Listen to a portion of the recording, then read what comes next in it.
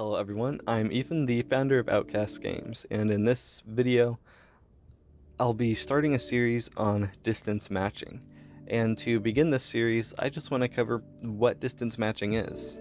Now, distance matching is, if for those of you who are unaware, is the way to handle the playback of animations that's a bit different than just regular in-place animations or root motion animations to understand distance matching, you have to have a good understanding of in-place animation, root motion animation, what makes them different. So I'm going to start there.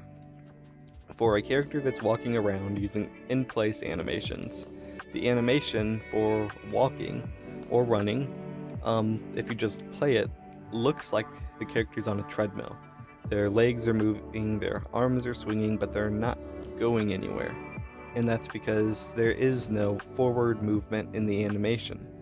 The animation is just something that's being played in place relative to the character's location in the world.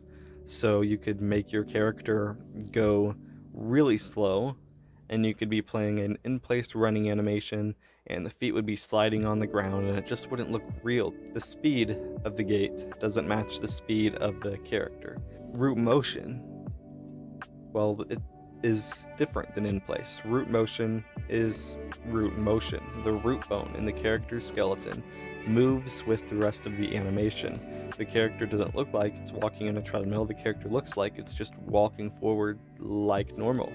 And so you might be thinking, well, why not just use root motion? And that's because when you use root motion, movement is derived from the baked movement of an animation.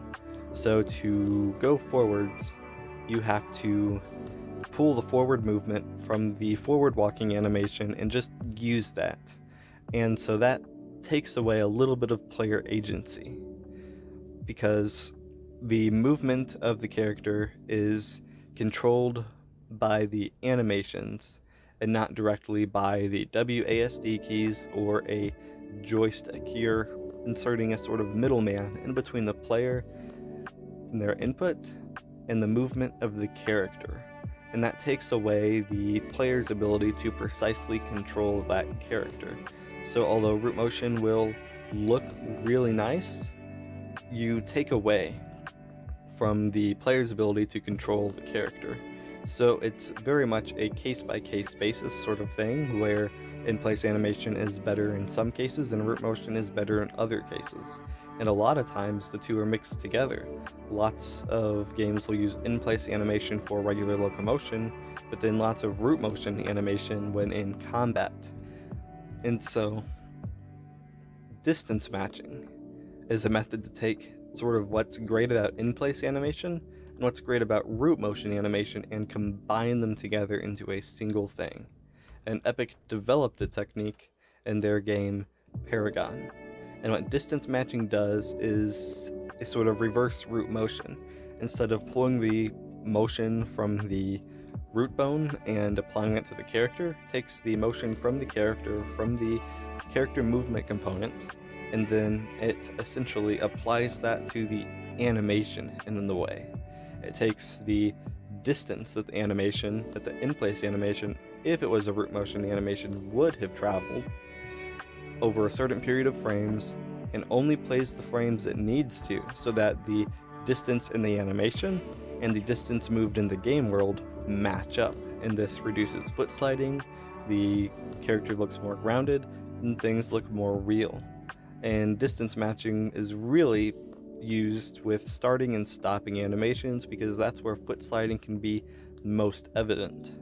And Epic developed other techniques for walking um, with with the walking loops because distance matching was a little bit too complex. It there were more efficient solutions. So they use distance matching on start and stop animations as well as in place rotation. And they use something called speed warping for the walking or running loops, where the distance between the feet Essentially, the size of the gait is changed instead of the speed of the animation. Usually, the animations will be sped up or slowed down if the character is walking faster or slower than the animation, and that can look unrealistic really fast.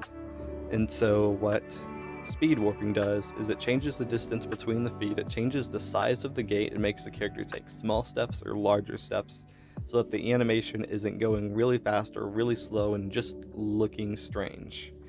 And although distance matching really is just what is being done in the start and stop animations, distance matching over the years has really become a term that's used and applied to a locomotion system like the locomotion system in Paragon, which includes speed warping, which includes orientation warping, a procedural way to um, change the character's orientation, the direction they're moving in, without using a blend space between like a right strafing animation and a forwards walking animation. And so it just rotates the pelvis and the legs and rotates some of the bones in the spine and it looks a whole lot more realistic. And you don't get any of the weird results in foot sliding that you sometimes, oftentimes, get with blend spaces. Another example is slope warping, something they implemented as well. Um, and that's much more commonplace. You see that around more often. People have been doing lots of things with that in the new control rig.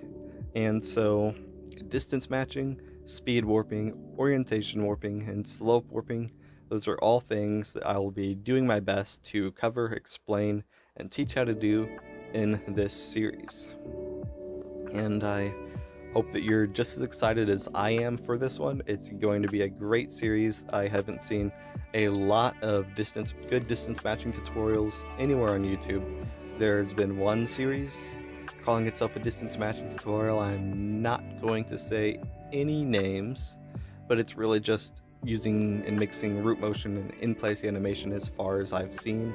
So distance matching is complicated, until it's not.